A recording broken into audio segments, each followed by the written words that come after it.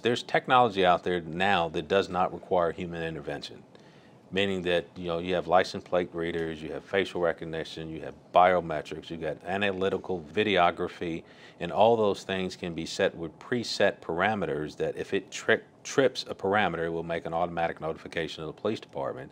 Then then we can have human intervention and send somebody there to look at it. It will help us protect the community a lot more from the perspective we can use the technology from all these vertical security systems, make them into one integrated system, and then give me the ability to have multiple eyes out there that I wouldn't have without it.